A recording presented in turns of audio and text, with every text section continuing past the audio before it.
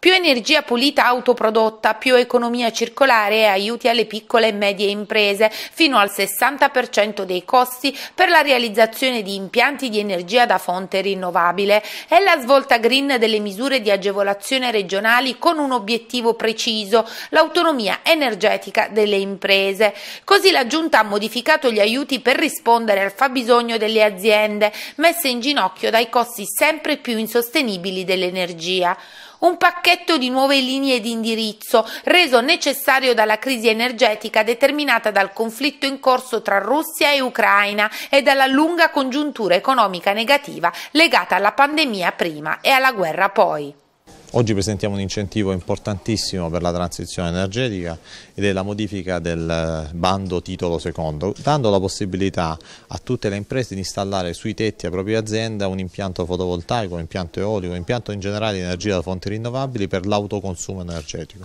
La battaglia per eh, il risparmio energetico passa attraverso la produzione di energia da fonti rinnovabili e abbiamo utilizzato il titolo secondo, capo terzo e capo sesto che è lo strumento, il bando più utilizzato dalla Regione Puglia che può essere conosciuto già da gran parte delle imprese e che può avviare questa nuova stagione che riguarda le piccole imprese, gli artigiani ma riguarda anche le grandi imprese. L'altro fattore importante riguarda l'economia circolare, la sfida dell'economia circolare si ha attraverso il protagonismo del pubblico così come stiamo facendo nel piano rifiuti ma anche con il privato e la riconversione di impianti di energia eh, e gli impianti di trattamento dei rifiuti è una delle sfide, gli obiettivi della nostra amministrazione.